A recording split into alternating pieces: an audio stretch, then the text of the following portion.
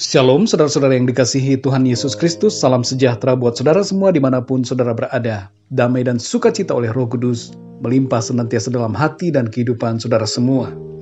Renungan saat ini terambil dari keluaran 23 ayat 25 sampai 26. Tertulis demikian, Tetapi kamu harus beribadah kepada Tuhan, Allahmu, maka ia akan memberkati roti makananmu dan air minumanmu, dan aku akan menjauhkan penyakit dari tengah-tengahmu. Tidak akan ada di negerimu perempuan yang keguguran atau mandul. Aku akan menggenapkan tahun umurmu. Demikian firman Tuhan. Saudara yang dikasih Tuhan, firman Tuhan berkata bahwa ibadah kepada Tuhan adalah suatu keharusan. Jadi kita benar-benar wajib untuk beribadah. Apa makna dari ibadah? Ibadah itu bukan sekedar datang ke gereja, dan memberikan persembahan. Ibadah bukan sekedar soal ritual agama, tapi ibadah mencakup keseluruhan hidup kita. Roma 12 ayat 1 berkata, Karena itu saudara-saudara, demi kemurahan Allah aku menasihatkan kamu, supaya kamu mempersembahkan tubuhmu sebagai persembahan yang hidup, yang kudus dan yang berkenan kepada Allah. Itu adalah ibadahmu yang sejati. Jadi saudara yang dikasih Tuhan, ibadah sesungguhnya adalah sikap hidup yang berkenan kepada Tuhan. Tubuh kita kita persembahkan kepada Tuhan. Tubuh kita tidak lagi kita gunakan untuk dosa, tetapi kita persembahkan untuk kemuliaan nama Tuhan. Hati dan perbuatan, pikiran dan perkataan kita selaras senantiasa dengan firman Tuhan. Saudara yang dikasih Tuhan, ibadah itu bukan hanya di gereja. Ibadah bukan hanya di hari Minggu, tapi ibadah itu di mana pun kita berada, dan di setiap hari dalam kehidupan kita. Kalau kita hidup taat pada firman-Nya, maka kita adalah termasuk orang-orang yang beribadah kepada Tuhan. Apa manfaat dari ibadah kepada Tuhan?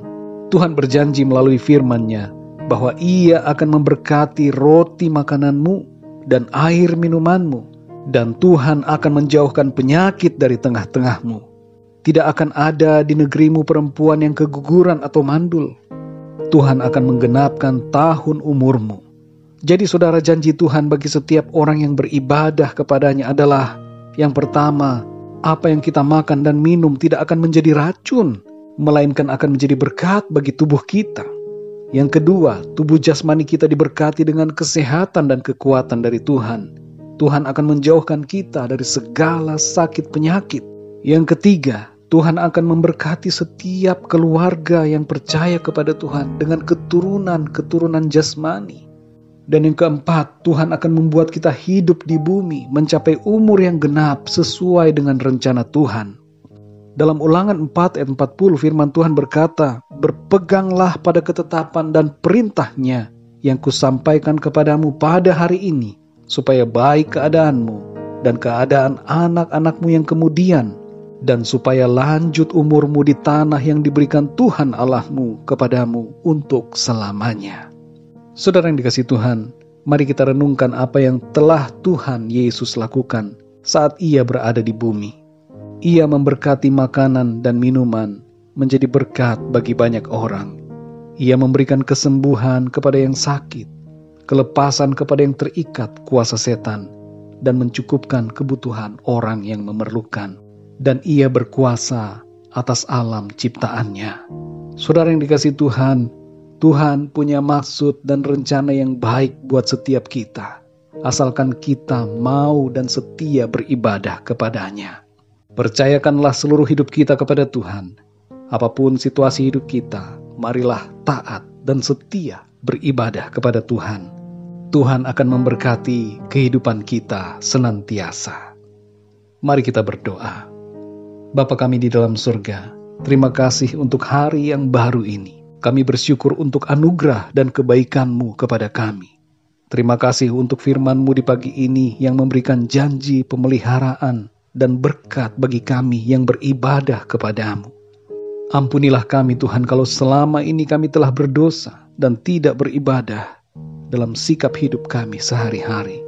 Bimbinglah kami ya Tuhan agar di setiap waktu kami menjadi orang yang beribadah kepadamu melalui pikiran, perkataan, dan perbuatan kami. Pimpinlah kami di sepanjang hari ini, dalam segala aktivitas, tugas, dan pekerjaan kami.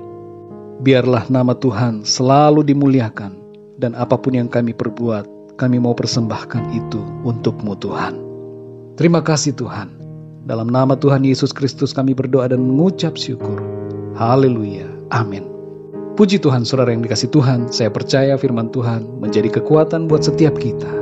Dan marilah mulai saat ini, kita senantiasa beribadah kepada Tuhan. Tuhan Yesus memberkati saudara semua, sampai jumpa dalam renungan yang berikutnya. Haleluya.